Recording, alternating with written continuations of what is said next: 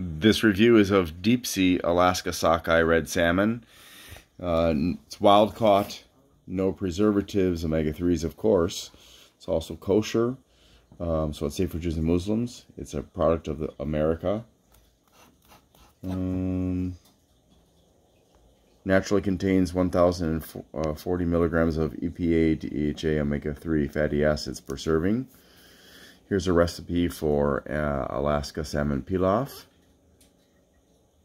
And here are the nutrition facts and ingredients.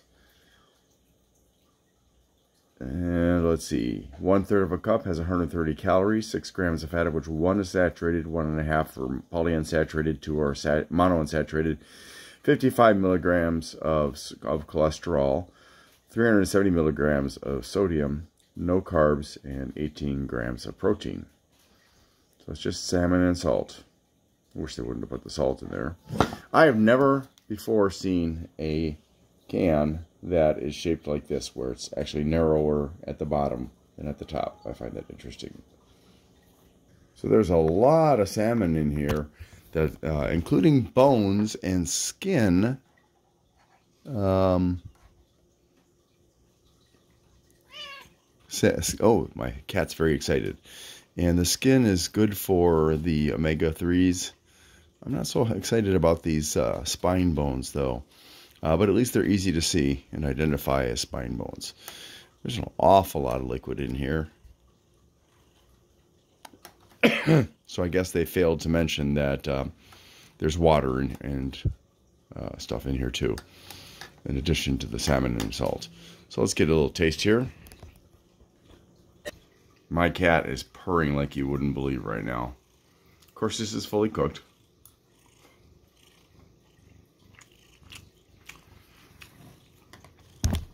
Um,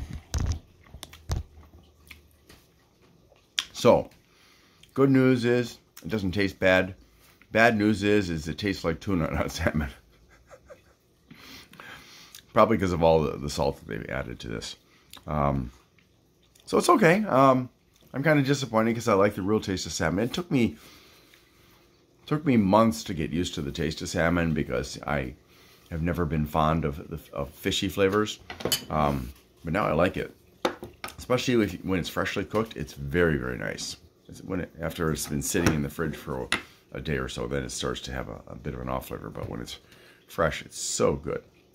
You cannot play with the can opener, kitty. My cat is so silly. Um, so yeah, uh, I guess um, I'll give it a seven. Um, just because I, I do like the flavor. I just wish it tasted like salmon. Thanks for watching and hope you have a great day.